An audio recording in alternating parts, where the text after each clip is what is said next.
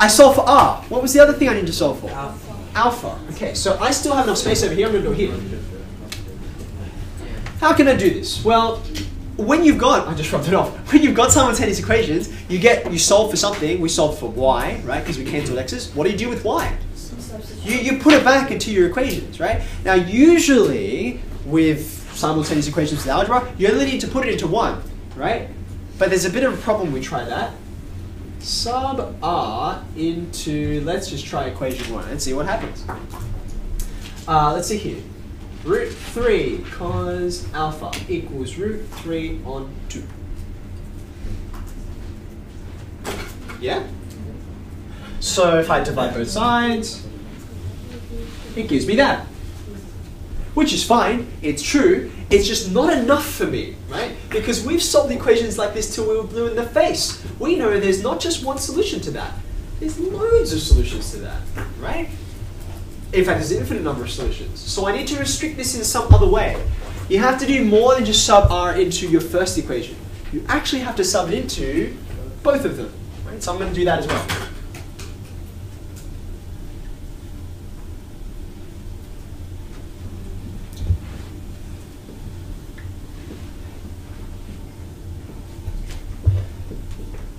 Okay. Are you content with that? See what I've done? So if I were just to look at this equation up here, cos alpha equals a half, right? You could come up with two solutions in a normal domain for that. What would be your first solution? 60. But you know cosine keeps going. You're going to get another solution in the fourth quadrant, right? And that solution would be 300 degrees, 60 or 300. But now that you know this other piece of information, you can rule one of them out. Here's a nice visual way to do it. We talked about quadrants before, right? Yes? When you wrote down cos alpha equals a half, you instantly knew two of the quadrants were okay and two were duds. These two are okay, and the other two, cos is negative over there, so you can't use those, right? But then when you write down sine alpha equals this, now you know, actually these are the only two quadrants you can be in, right? And you have to simultaneously satisfy both of them, right? So that's why you've got to be in here. That 300 degrees that you found satisfies this, but not this one.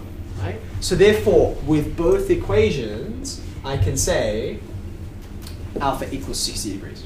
Okay? Now this is the point at which I'm going to explain why, even though it was actually very, very, very common sense and um, insightful, it's actually not a very good idea to go from here and cancel out r first. Watch what happens. If I say 1, ooh, other way around, 2 divided by 1. Okay? We've just established the r's go away. I'm going to get what on the left-hand side? And then on the right hand side,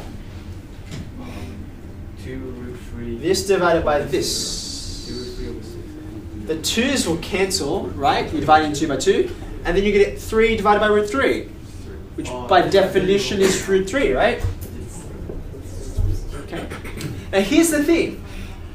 You remember over here we got multiple solutions for like say this, but we were like, it's cool. I've got enough information to get rid of the multiple solutions and work out which is the real one and which one's the imposter. Okay? But when you're over here, you're kind of stuffed, right? This guy can't tell. This guy's like, uh, this?